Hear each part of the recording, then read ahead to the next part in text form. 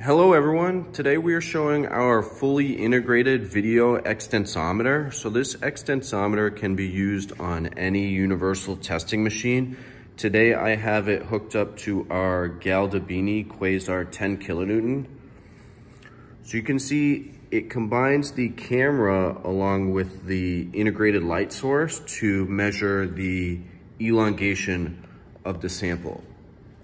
So if we go around back, I'll show you the hookups. So as it measures the elongation, it sends the signal out via USB into the computer the computer is doing all of the calculations and then it can actually output and control the machine.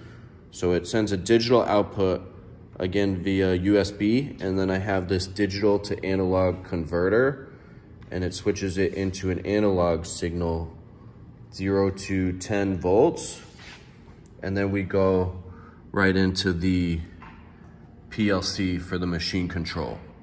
So this way we can control the rate of pull of the machine directly with the video extensometer. So again, this is the complete setup. If you have any questions about our video extensometers or our universal testing machines or grips and fixtures, you can visit us at universalgripco.com. Thanks for watching.